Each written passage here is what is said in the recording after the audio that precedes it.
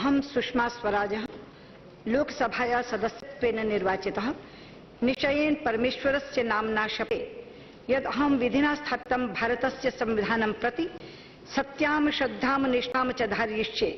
यद अहम भारतस्य संपूर्ण प्रभुत्व संपन्नताम् अखंडतां च रक्षिष्यामि, तथा पदं ग्रहीतुम् अहम् उद्यतो अस्मि, तस्य कर्तव्यानि श्रद्धापूर्वक निर्वक्ष्यामि।